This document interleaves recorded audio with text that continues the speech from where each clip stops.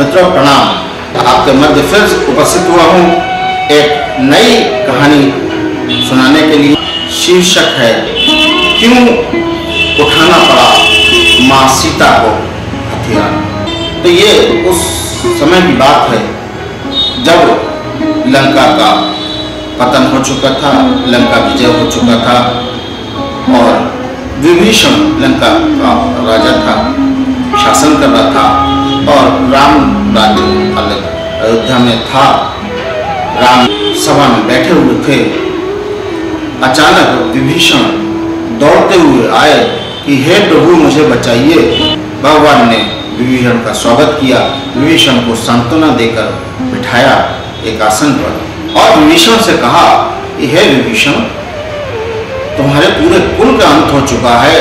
अब कोई ऐसा प्रतापी है नहीं जो बचा हो, जिससे तुम्हें भय हो, फिर तुम्हें किसका भय है? तो विभीषण ने बताया, हे प्रभु, मूल का सुर नाम का एक असुर है, जो कुंभकर्ण का पुत्र है। उससे मुझे अपने प्राणों का खतरा है और मैं भाग कर आपके पास आया हूँ। उसने मेरी लंका पर आक्रमण कर दिया। छह महीने तक युद्ध चला। हम लोगों ने बहुत कोशिश करी, लेकिन उसको परास्त नहीं कर पाए।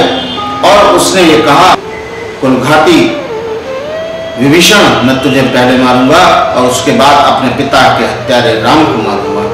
तो हे प्रभु, मेरी रक्षा कीजिए। सुनकर भगवान ने पुष्पक विमान का आह्वान किया तथा लक्ष्मण और भरत सहित अपने कई सैनिक लंका को भेज दिए तथा बाकी सेना भी लंका के लिए रवाना कर दी। और भगवान श्री राम भी लंका पहुँच गए।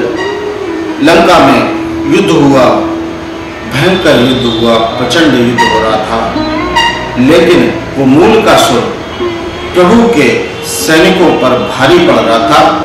तब भगवान सोच में पड़ गए कि अब क्या करूँ?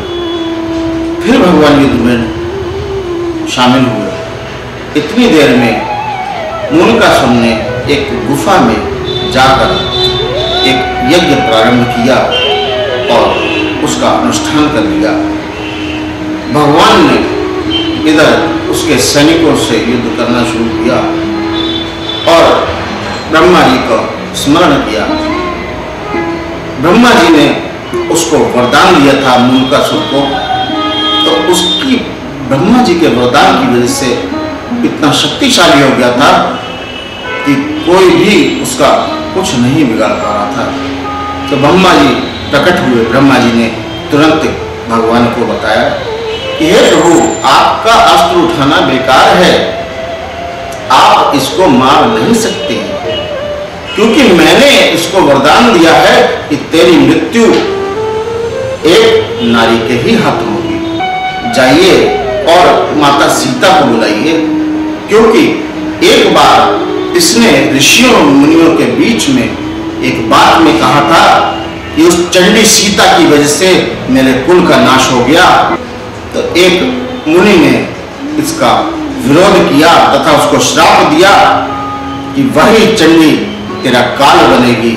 अब उसका श्राप सफल होने का समय आ गया है। आप माता सीता को बुलाइए। माता सीता के पास तुरंत पुष्पक विमान गया। माँ सीता सब जान लिया वहाँ बैठकर, और वो जाकर उस पुष्पक विमान पे बैठ गई और युद्ध के लिए चली।